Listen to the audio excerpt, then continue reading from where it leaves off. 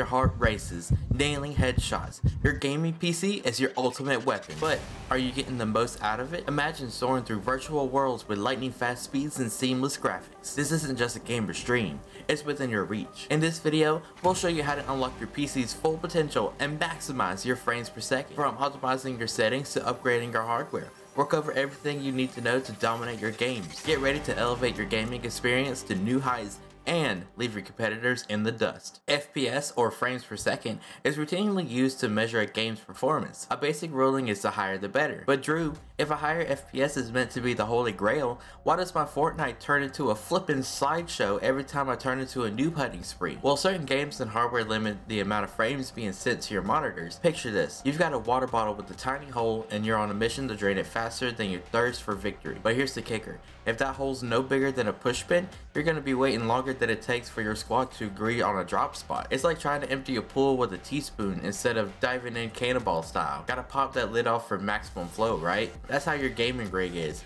It's also why it's called a bottleneck. The more powerful your GPU, CPU, and even RAM, the more frames you can push to more smooth your game is.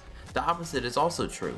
The less powerful your components are, then less frames get to your monitor. Since a lot of PC parts aren't exactly compatible, many who are compatible comes with some amount of bottleneck. The main components that impact gamer performance are the GPU, CPU, and RAM, and sometimes even your storage depending on the game if it's installed on the SSD or a hard drive, along with your monitors and screen re resolution. To check this, it's a good practice to look at websites like this one from PC Builds with their bottleneck calculator, but you need to properly set it up. Since we're talking about gaming, we need to put that graphics card in intense tasks instead of general. General tasks are your typical web browsing, email checking, grandma, grandpa, Facebook scrolling, just like your CPU, graphics card and screen resolution and click the button and boom. You want to aim for about 5% or lower to get the best performance. Ready to optimize your digital arsenal without maxing out your credit point? Introducing CD Key, your virtual vault for discounted gaming treasure. From FPS juggernauts to productivity power-ups, CD Keys has the bite-sized deals you crave. CD Keys offers digital codes for all the latest games at unbeatable price, and right now they're offering an exclusive discount to our viewers. Just use the link in the description or scan the QR code to save on the latest game. Now, let's get started with the video. Sure, to get the best performance, you can just simply buy a better graphics card, CPU, whatever. But there are simple and free ways that you can still take advantage of your current hardware. First is the topic of overclocking. This makes your GPU or CPU run a little bit faster and also use a little bit more power. If you know what you're doing, then this is a good route,